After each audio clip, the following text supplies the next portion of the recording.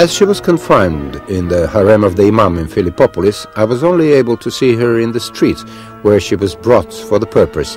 At a more private interview with her afterwards, she admitted that she had been violated and her statement was confirmed to me by a woman who was present and saw it.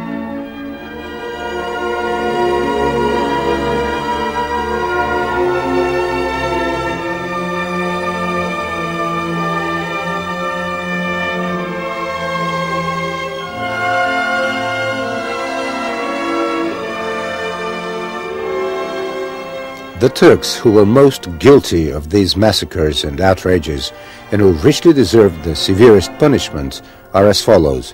Ahmet Aga from Tarmush, Ahmet Aga from Barutina, Tosun Bey from Karlovo, Ali Bey from Pazarcik, Mehmet Bey from Pazarcik, Hasan Pasha, Hafuz Pasha, Pasha Deli Necip Effendi from Pleven, Hafuz Effendi, a clerk from Gabrovo, Afik Pasha, Valley of Edrine at that time. It was being claimed that the massacres and outrages in Bulgaria were not ordered by the Porte and that it even had no knowledge of them.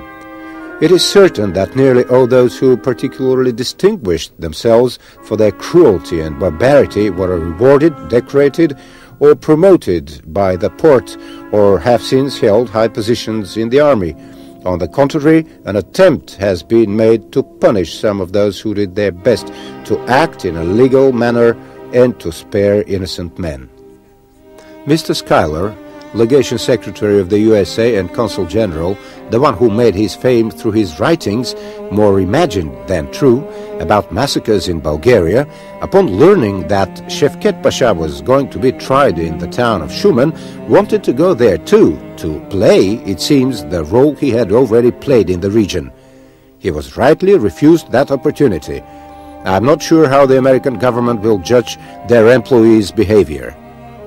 To Mr. Eugene Schuyler, Legation Secretary, Constantinople.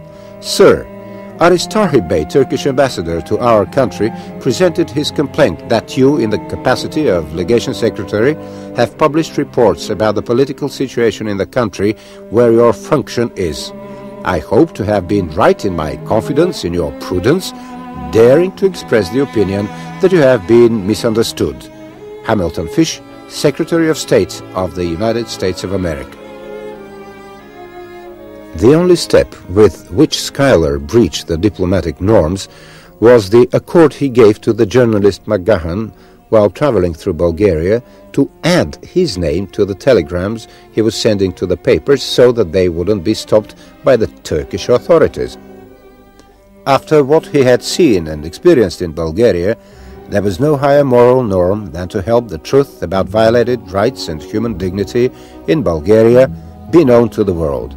His report was published in England and Russia as an integral part of the McGahan reports. Ambassador Maynard wrote to the Secretary of State Fish in Washington that if no urgent measures be taken of the thousands of barely clad and starving Bulgarians, many would perish in the winter cold of the Balkans.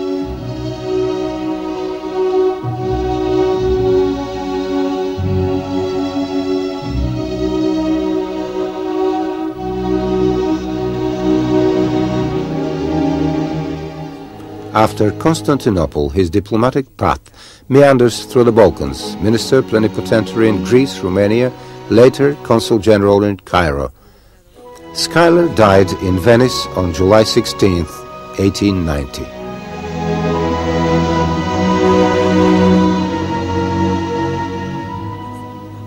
For the USA, his work may seem lesser and insignificant. It is not conducive to the great events of American history.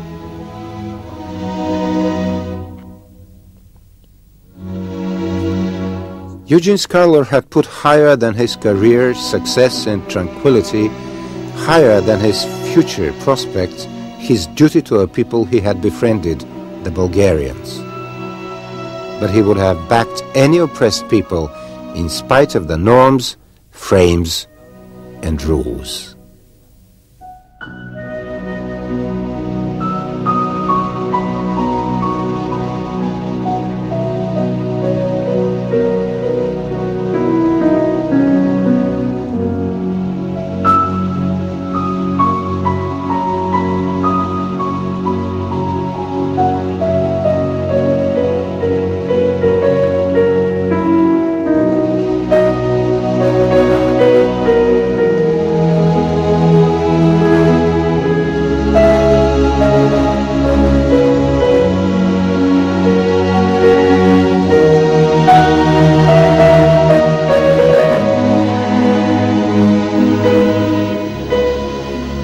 Script and direction Anna Georgieva, cameraman Alexander Lazarov, consultants Veselin Traikov, Nadezhda Dragova, editor Gergana Zlatanova, music background Mariana Volkanova, producers Valentin Seymenov, Momchil Mikhailov. This film was made with the assistance of the United States Information Agency and the United States Information Service, the American Center, Sofia.